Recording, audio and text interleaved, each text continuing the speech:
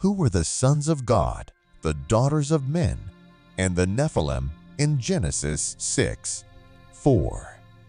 Think about this deeply, and let's go deeper. Since it's part of the context of eight verses, namely 1 to 8, let's have a look.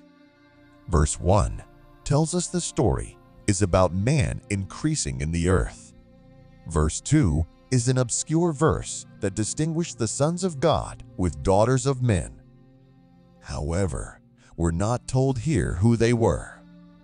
In verse 3, God speaking, saying that his spirit will no longer abide in man forever, and his days is marked to 120 years. That's in the English Standard Version, ESV. In the King James Version, KJV, it's rendered that God will not longer strive with man. Then we turn to verse 4, which is the main verse in question. In the ESV, it says, There were the Nephilim, but afterward, we're told the sons of God came to the daughters of man and bore children. It also says they were mighty men of old in ESV by nearest antecedent rule.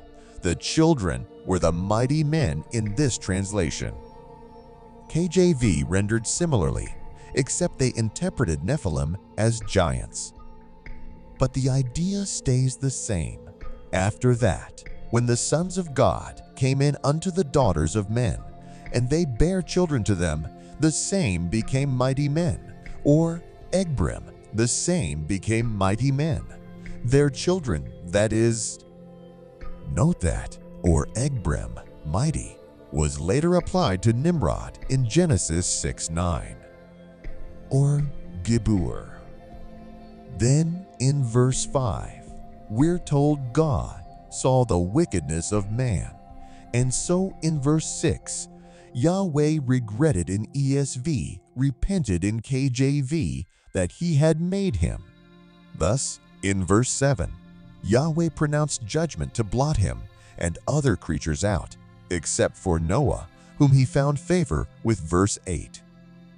As you can see, despite verses 2 and 4 being unclear, the entire context has everything to do about man increasing in number, but becoming wicked.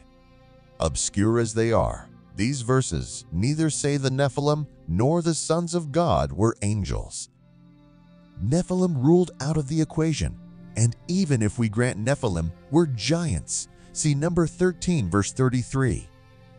Anak's sons of were described as huge. None of these verses say the giants were children of angels. They even contradict the idea.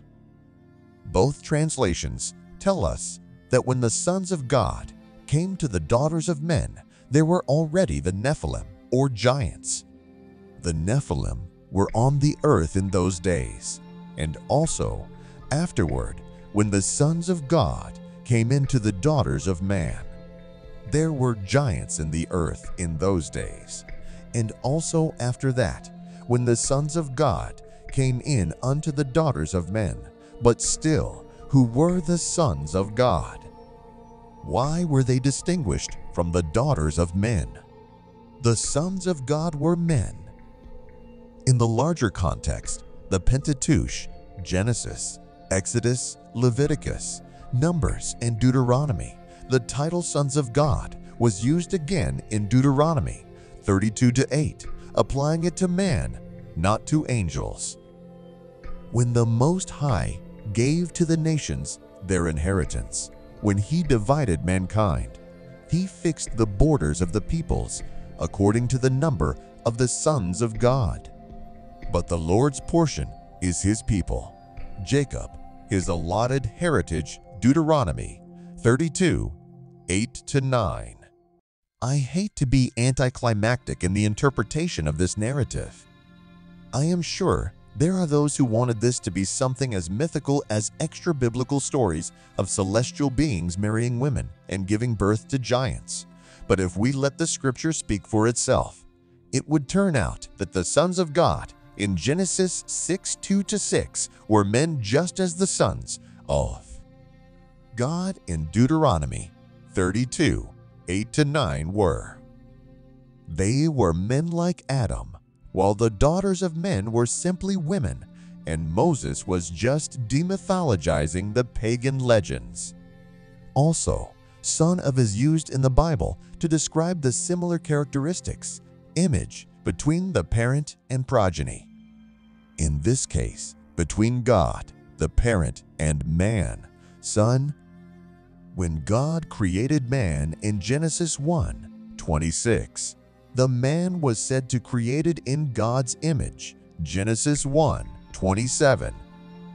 Another characteristic they share is the knowledge of good and evil. See Genesis 3, 5. Therefore, man is technically a son of God. And that is pretty much explicitly established in Genesis 5 1. This is the book of the generations of Adam. When God created man, he made him in the likeness of God. Genesis 5, verse 1 in ESV sadly, as they increase in number, they became more wicked, and that image being greatly marred by sin, they took many wives as they chose Genesis 6 verse 2. Jesus ruled out angels, procreate. Besides, didn't Jesus say angels don't marry? How can they have children? Read Matthew 22 verse 30.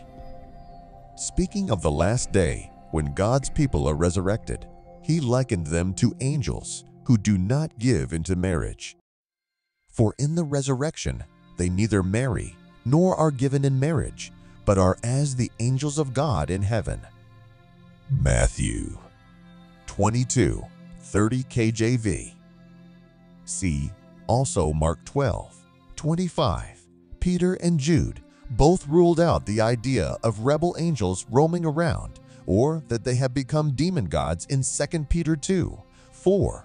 Peter wrote the angels were cast into Tartarus and that they are kept there until judgment. This is affirmed in Jude 1, 6, which says the angels who left their place are kept in eternal chains until judgment. They can't be just roaming around. And guess who will judge them? Read 1 Corinthians 6 verse 3.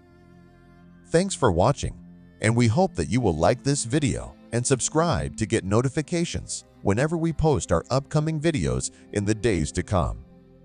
See you around. Shalom.